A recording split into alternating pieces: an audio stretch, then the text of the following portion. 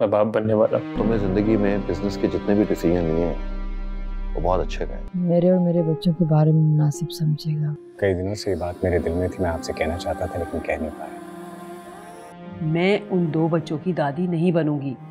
वो सिर्फ़ तुम्हारी बीवी के बच्चे होंगे। और वलीद के साथ जो कुछ हुआ है वो जानने का आपका पूरा हक है। आपके माँ बाप और इस घर के दर दीवार को भी अपना है और एक मकान को इसी तरह घर बनाया जाता है